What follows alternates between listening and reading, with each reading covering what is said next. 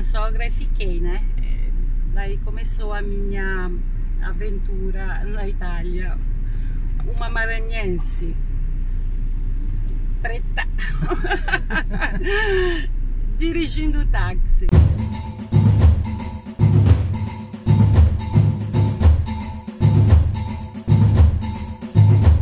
Nunca foi motivo de, de racismo para mim, nunca. Eu, as pessoas quando entram no, no meu táxi são surpresas e, e depois quando você fala sou brasileira, todo mundo fica, ah, mas tá fazendo o que aqui? É, tô dirigindo táxi, né?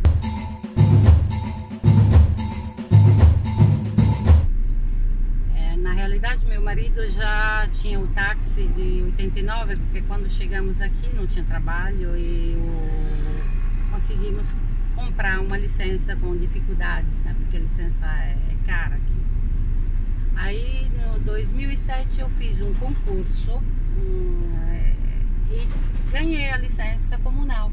Hum, incrível! Que eu não, não, esperava, trabalhava na farmácia, é, estava muito bem nessa farmácia, mas não, não esperava de fazer a taxista, né? Uhum. Tinha medo, sabe? Aí comecei a dirigir o táxi Roma, é, uma mulher preta. no, nesse mundo assim não é, não é muito fácil. Mas graças a Deus eu consegui. Se eu quiser parar para fazer as, as, coisas que necessita para minha família, eu posso parar, não peço para ninguém o que eu, que eu tenho que fazer, né? Então é um trabalho indipendente. Che voi sappiate, ci posso entrare ZDL col motorino? Sì, non può andare nelle preferenziali però. Grazie. Prego.